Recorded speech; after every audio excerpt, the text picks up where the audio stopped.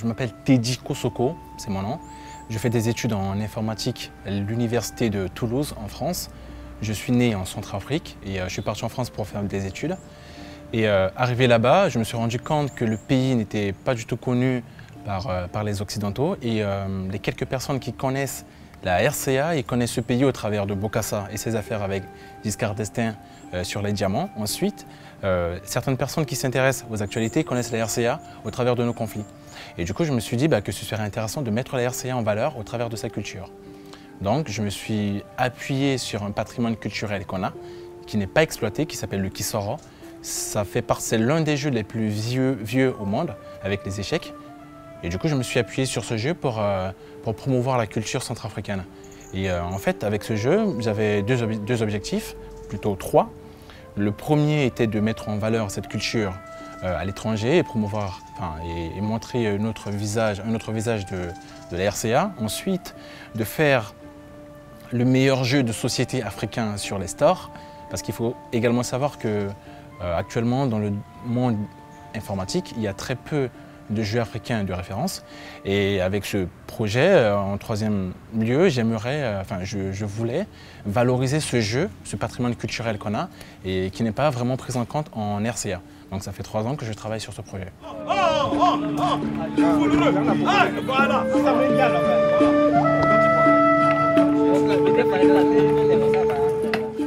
Alors, quand j'ai commencé à travailler sur le projet, qui remonte à trois ans, je ne savais même pas jouer au Kisara.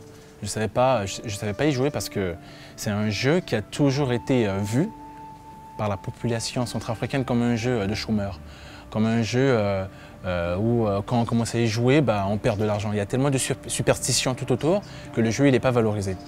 En fait, quand j'ai commencé à travailler sur ce, sur ce projet, sur ce jeu, bah, je me suis rendu compte que le jeu permettait de développer les aptitudes mathématiques.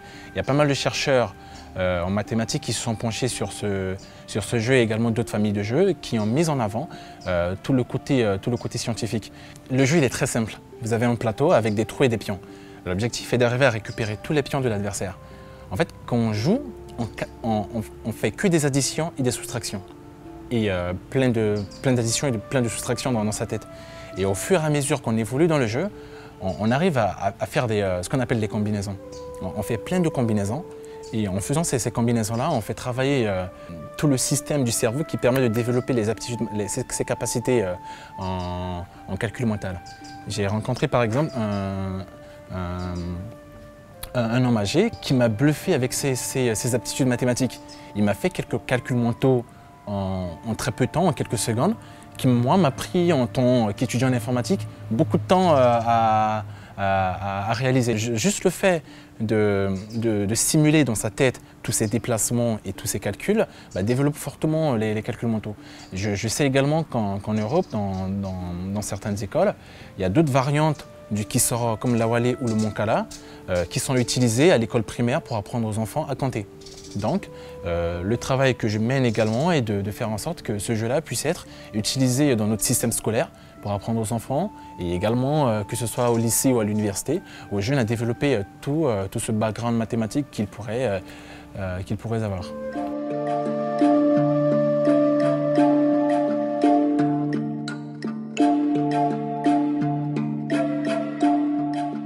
Alors, il faut se dire que euh, quand j'ai commencé à travailler mon projet, quand j'ai commencé à travailler dessus, je, veux, c'est toujours le cas, faire en sorte que ce jeu soit le meilleur jeu africain sur les, stores, euh, l'Apple Store et le, Play Store. Il faut se dire que pour arriver à faire un, jeu qui touche un maximum de personnes, il faut beaucoup de choses. Il faut un bon, graphiste, il faut du contenu, du graphisme, qui coûte énormément d'argent, mais il faut surtout de, il faut surtout de la communication, il faut arriver à toucher un maximum de personnes. Moi, j'ai envie bah, qu'un Américain, qu'un Asiatique ou qu'un Européen entende au moins une fois dans sa vie parler du Kisora. Et cela passe par beaucoup de moyens. En trois ans, j'ai investi en tant qu'étudiant beaucoup d'argent. Et j'en étais arrivé à un niveau où continuer à financer par mes propres moyens ce projet devenait très compliqué. Du coup, euh, je me suis dit qu'il y a quelque chose de fabuleux qui existe qui s'appelle le financement participatif, où on, où on demande à des gens qui croient en ce projet-là, euh, d'investir dans ce projet-là. Et du coup, je me suis dit que bah, ça me permettrait également de faire de la communication autour du jeu, de toucher un maximum de personnes, ce qui, euh, ce qui, va également dans le sens de, faire en sorte que soit connu d'un maximum de personnes. Et également, bah, cela me permettra, si, j'y arrive, à avoir les, financements nécessaires pour continuer le projet.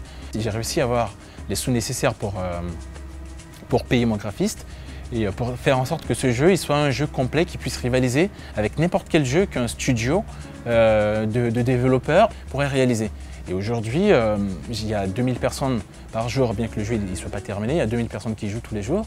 Et j'ai de, très bons retours par rapport au travail qui a été réalisé pendant, pendant ces trois ans. Et je pense qu'au-delà des, sous qui ont été récupérés, cette campagne a, bah, permis de, médiatiser ce jeu. Il y a eu en moins d'un mois euh, une vingtaine d'articles sur le, sur le jeu et également sur, euh, sur ma personne et tout ce qui a été fait euh, tout autour. Ça, a permis de, faire en sorte qu'il y ait beaucoup de personnes qui, connaissent le, le Kisoro et tout le travail qui a été réalisé autour.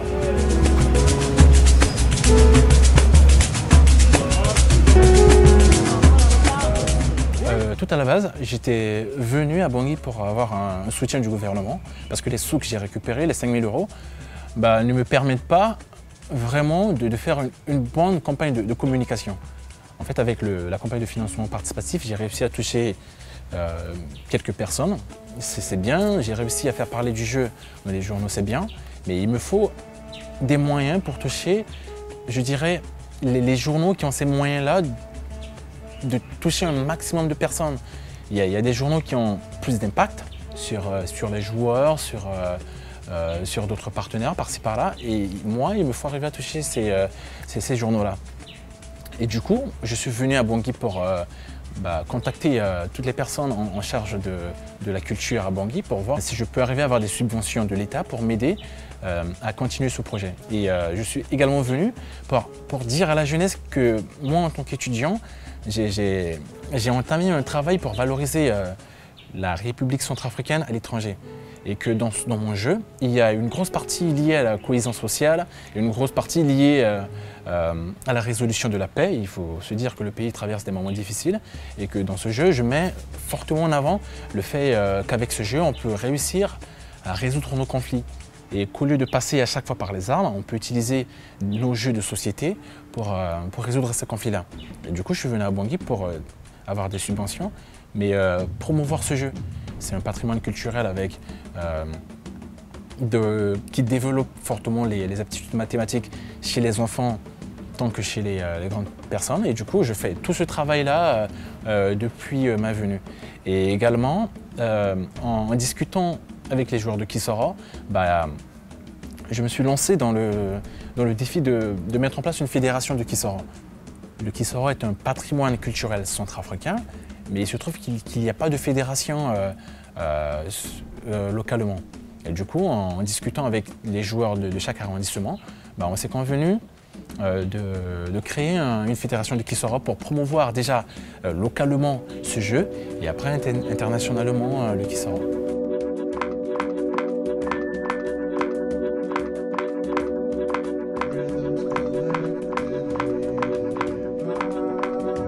Il faut se dire que moi, je, suis dans, dans, une démarche de, créer des entreprises à Bangui.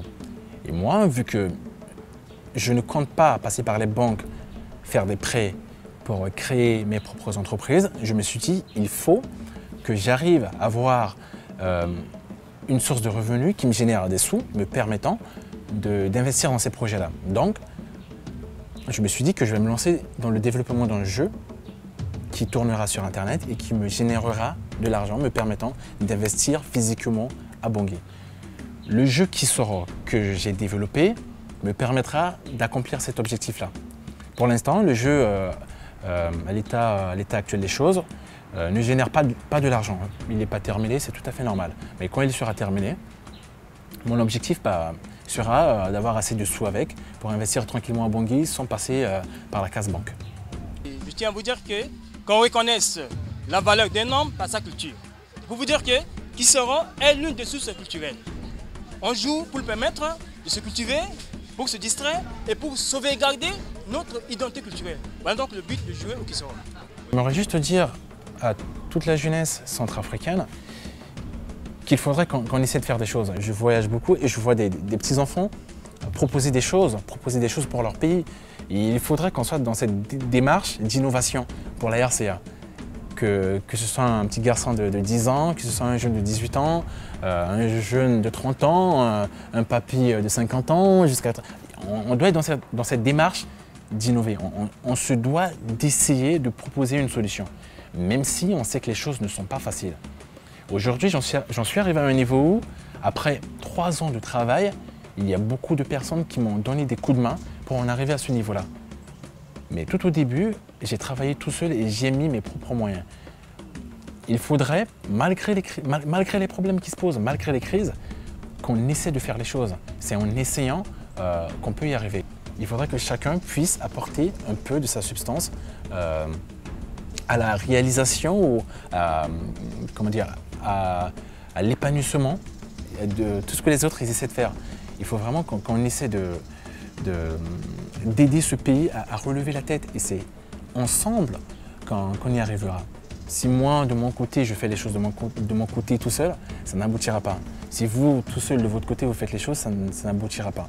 Il faudrait qu'ensemble, main dans la main, chacun dans son domaine, on puisse avancer et faire avancer ce pays euh, euh, par la même occasion. He suggested that the king organize a Kasoro tournament with the enemy. The victor would win for his kingdom complete control of the river si vous voulez, on va faire une petite partie et vous me direz euh, ce que vous pensez de ma, version de, de Kisoro. Et du coup, dans, moi, dans, ce que j'ai fait, tout ce que le joueur il a à faire, c'est calculer. Calculer les déplacements et jouer. Ensuite, le système, automatiquement, il prend la main et il distribue.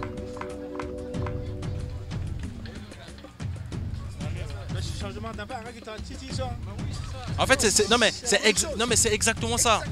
Moi, je me suis dit, tout ce, ce qui change, c'est que là, vous avez un plateau et là, vous avez un téléphone. Non, et puis là, là on ne peut pas tricher, on ne peut pas voler. Mais en fait, qu'est-ce que, vous, qu'est-ce que vous ressentez lorsque vous jouez à, qui sont sur un téléphone? Bon, ici, on ne fait pas assez d'efforts. On touche seulement et puis ça vaut au lieu de prendre les pieds et puis de mettre dans les trous petit à petit jusqu'à la fin. Donc ici, là, c'est la meilleure version, c'est la bonne façon. Moi, je me suis dit, vu que le qui sort, c'est un jeu de l'intellect, que les gens y réfléchissent, au lieu de, faire en sorte que les gens ils prennent les pions et, qu'ils déplacent, il faudrait qu'ils se focalisent sur le, sur le calcul. En voyant, je me suis dit, on ne peut pas compter au-delà de 10 pions. Par exemple, si c'est 16 pions ici, est-ce qu'on peut compter tous les, 16 pions? Même les 32 pions ou 30 pions En fait, s'il y a 30 pions dans le trou, on va, on va, le, non mais vous n'allez pas compter. Vous voyez les, chiffres qu'il y a là, tout à côté, c'est le nombre de pions par trou.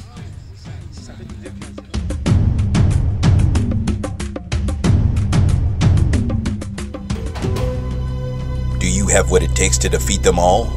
Download Kasoro the game now for free.